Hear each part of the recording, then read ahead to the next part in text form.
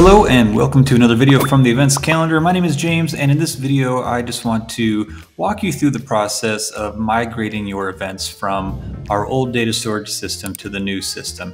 You may have noticed recently that we pushed an update to the Events Calendar Pro. This is the Events Calendar Pro 6.0. It's a huge update, lots of really cool stuff included in this uh, update, performance updates, as well as new features. In order to take advantage of these new features, you do have to migrate your events from our old system to the new system. Now, the process is very simple. It usually only takes a few minutes. And when you're done, you will have access to the new features. For instance, uh, your calendars will load faster on the front end.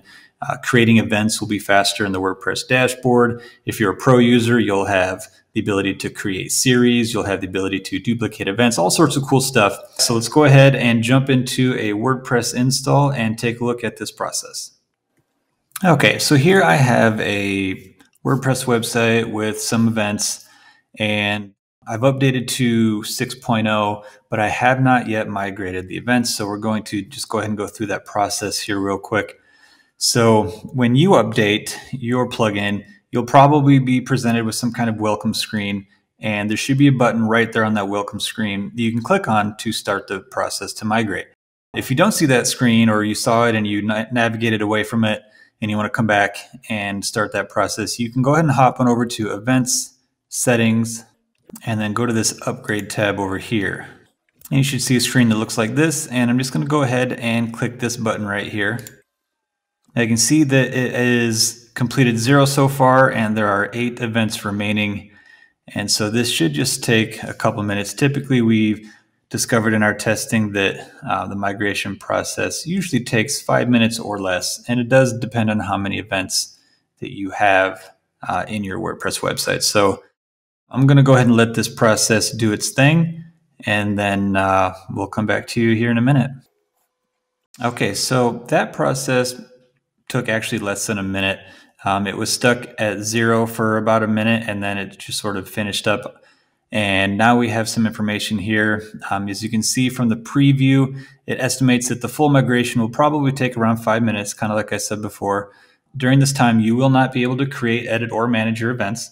Your website should still function. You know, your website won't go down. It's just that you won't be able to create new events or edit events during this process. Um, so if there's any edits you need to make to an event, uh, go ahead and make those first before you start the actual migration process.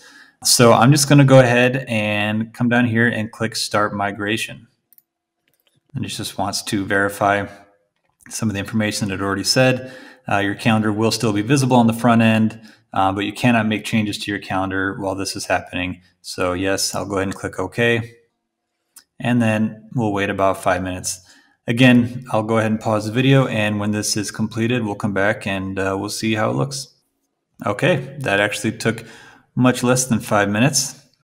Migration is complete. You can see your site is now using the upgraded event data storage system. That means that you will be taking advantage of the um, increased speed both here in the dashboard while creating events as well as on the front end. Your customers uh, will experience faster calendar loading time. So uh, really cool. If you're a pro user, there's some other features that you'll have available to you. For instance, there's an event duplicator tool now, which is something that people have been asking for for a while. Duplicating events has not been a very good experience in the past, uh, but now we've gone ahead and baked that feature into the pro version. And uh, you'll also have the ability to create series. There's a lot of really cool features, and we have a lot more features uh, coming both with the events calendar and now that we've done this step with the events calendar, we also have some features planned for event tickets.